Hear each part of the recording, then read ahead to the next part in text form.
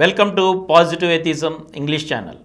Today I am going to continue the article on atheism and morality written by Gora from where I have left in the last episode. Social control. So, the sanction of morality in atheistic way of life is social control. It is real and effective, while the illusion that God watched man's ways kept the ignorant and the gullible moral. It gave scope for the clever to cheat and exploit the honest. Atheistic social check removes the possibility of the exploitation. Of course, it can be argued that a sinner who, through clever secrecy, can manage to escape the watch of society vigilance can be immoral and impunity. But that possibility decreases with the increase of atheistic consciousness among people. It is theists that leave a sinner free with faith that will be punished by God after life. But when atheists hold up wicked people here and now, the checks became too severe for an immoral man to escape easily. Moreover, what will the immoral man gain? By secret selfishness, he will gain an undue advantage and amass more wealth, power, or comfort. But morality means establishment of equality. The possession of more power, wealth, or comfort exposes his immorality and he becomes punishable. For instance, in a case where sweets are distributed equally among all children, suppose a child secretly takes some sweets from the next child, the possession of the extra sweet exposes the wicked child to be a thief and he becomes punished. So, realistic morality confers no special advantage on an act of secrecy. The trouble of secrecy will go in vain. In an order of atheism, where all feel equally free, it is not possible for anyone to overpower and dominate society. All humans are similar in strength and talent, and no one can dominate over others. Socialists are realists to a great extent, but they are not full atheists because they subordinate man's conduct to material circumstances and do not recognize the free will of the individual thereby. As socialists are not whole atheists, socialist regimes established economic equality but give scope for political dictatorship wherein the socialist or communist party dominates over the common people. When atheism is adopted, there will be not only economic equality but political equality too on account of the full recognition of the freedom of every individual.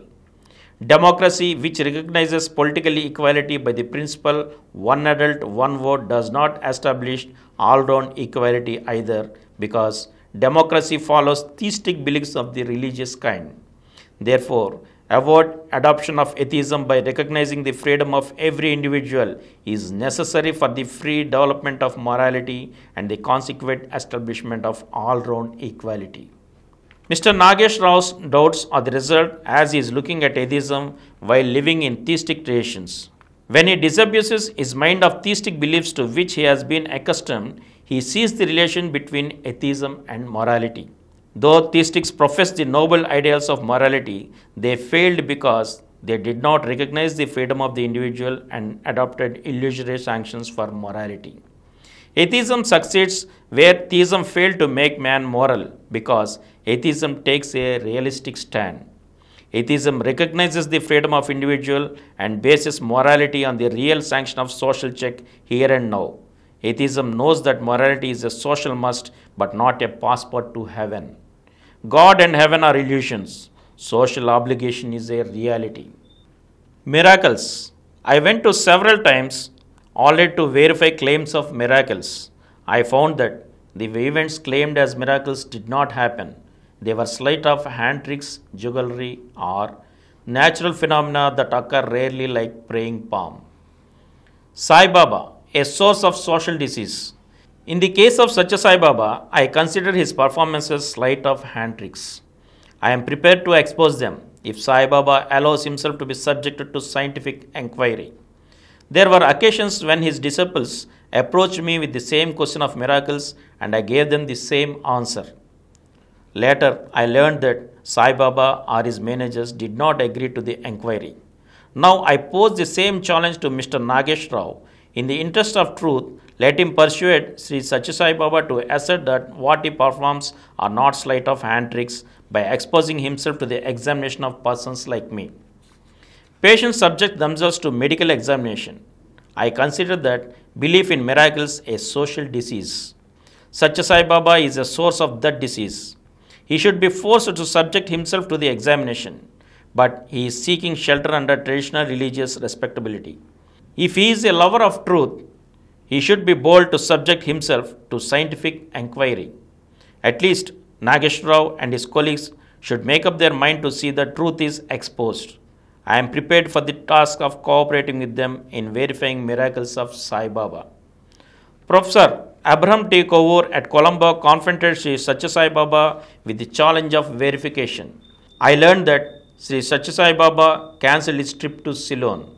Whatever may be the reason for the cancellation, the fact was that the miracles of Satya Sai Baba missed the chance of verification. Apart from what happened in Ceylon, I am here prepared to expose the truth of what are supposed to be miracles done by Sri Satya Sai Baba. And from here, we shall continue in the next episode again. Thank you.